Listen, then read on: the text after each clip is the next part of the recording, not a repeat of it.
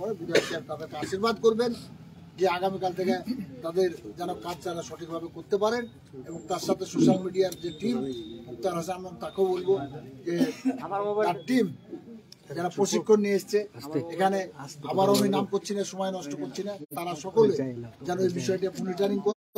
এবং আমাদের একটা সুনাম আছে সোশ্যাল মিডিয়া বাংলা টু এর যে আমরা অত্যন্ত প্রত্যেকটা প্ল্যাটফর্মে সে কর্মসূচি মিটিং মিছিল, আমাদের প্রশাসনিক সভা, আমাদের রক্তদান শিবির, আমাদের বিভিন্ন কর্মসূচি যেভাবে হাইলাইট আমাদের প্রচার এবং ই করা হয়, সেই ব্যাপারটা যেন এই বিষয়টাও, দিদি দুধ যারা কাজ করছেন, এই বিষয়টাও যেন সমদৃষ্টিতে সমানভাবে, আরও বেশি বেশি ভাবে যেন এই জিনিসটা প্রচার এবং সঠিকভাবে এই আমার এই পরিকল্পনা যেন কর্মসূচি রূপায়ণ করতে পারি।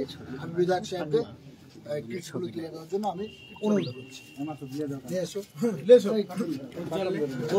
নাজিমা এসো নিচে মিল্টন এসো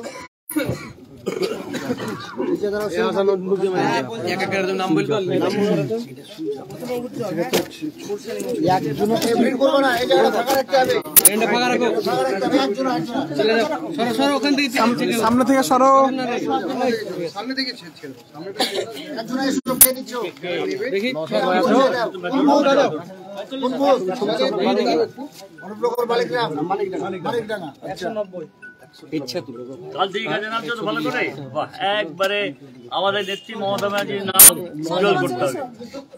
আর অভিষেক বন্দ্যোপাধ্যায় মমতা ব্যানার্জি জিন্দাবাদ। মমতা ব্যানার্জি জিন্দাবাদ। বন্দ্যোপাধ্যায় জিন্দাবাদ। পুরোটা ব্যাক করছি আমি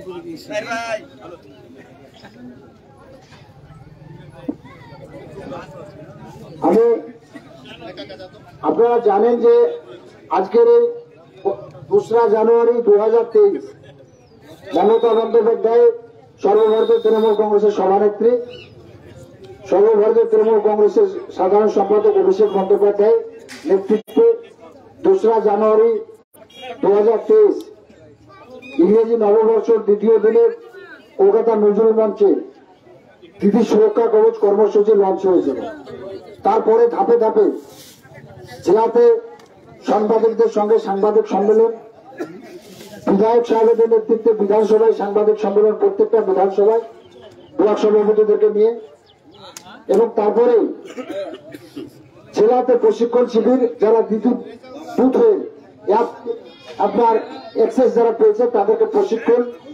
মুর্শিদাবাদ জেলা পরিষদের অডিটোরিয়াম হলে এবং তারপরে প্রতিটা অঞ্চলে যে অঞ্চলগুলোতে প্রথম থেকে অঞ্চলে একদিন কর্মসূচি শুরু হচ্ছে, সেখানে প্রশিক্ষণ শিবির।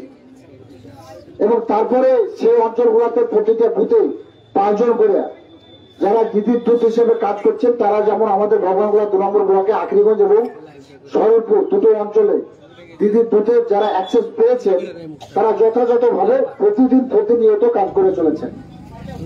তো দিদি, সুরক্ষা কবচ আমি একটা ছোট্ট এক মিনিট আমি করে বলব, তারপরে আমি এখানে বলবেন যে আমাদের বাংলার দশ কোটি মানুষের জীবন জীবিকার অত্যন্ত চাহিদা সম্পূর্ণ দিদি সুরক্ষা কবচে। দেখবেন যে এখানে তিনটি পর্যায়ে আছে, সামাজিক, খাদ্য এবং আমাদের উপার্জন। আমাদের অত্যন্ত চাহিদা সম্পূর্ণ পনেরোটা প্রকল্পকে বেছে নিয়ে একটা সুরক্ষা কবচ বলয় তৈরি করা হয়েছে। যে প্রকল্পগুলো আমাদের প্রতিনিয়ত সুরক্ষিত করছে আমাদেরকে। আর্থিকভাবে যেমন আমাদের আমরা আমরা বিভিন্ন প্রকল্পের মাধ্যমে আর্থিকভাবে আমরা উপার্জন করছি। আমরা খাদ্য খাদ্য সাথের মাধ্যমে, খাদ্য প্রকল্পের মাধ্যমে আমরা রেশনের হাতে থেকে আমরা খাদ্য পাচ্ছি। অনেকভাবে স্বাস্থ্য সাথী প্রকল্পের মাধ্যমে আমরা আমাদের স্বাস্থ্যে পরিষেবা নিচ্ছি আমরা বিভিন্ন হসপিটালে, বিভিন্ন বেসরকারি হসপিটাল, সরকারি হসপিটালে। এবং আমাদের ছেলে মেয়েদেরকে ভালো পড়াশোনা করার জন্য আমরা ঐক্যশ্রী থেকে শুরু করে আমরা উচ্চতর বিদ্যা অর্জনের জন্য আমরা সরকারের বিভিন্ন প্রকল্পের আমরা সুবিধা পাচ্ছি।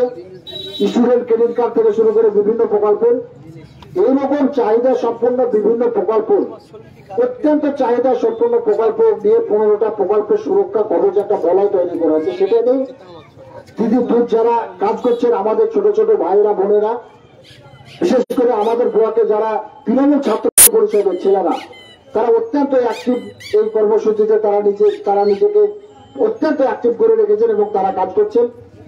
তো যাই হোক, বিস্তারিত আমাদের মধ্যে যারা বক্তা আছে, তারা বলবেন। তা আমি শুধু একটা কথা বলব, যে আমাদের বালিকা তিনি বটে আমি আমাদের বিধায়ক মহাশয়কে আলোচনা করার জন্য আজকের অঞ্চলে একজন কর্মসূচিতে আমি লাইভ তুলে দিচ্ছি। এই মাইক ম্যান তো ঠিক করো ভাই। এটা হলো মাইকে তুমি তুমি মাইকে আছো কে এই মুদ্রা সাহেব পয়সা কেনে নাকি আরে মাই ঠিক করতে হবে এবং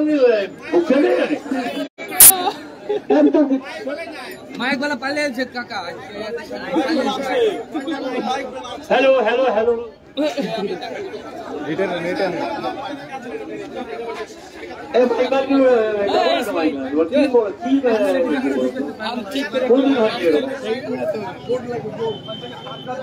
আমি বললাম যে মাইকটা ঠিক করুন মাইকটা ঠিক করুন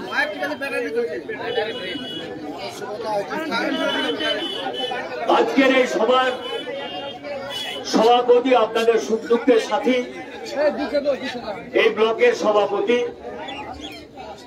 যিনি খুব কাজের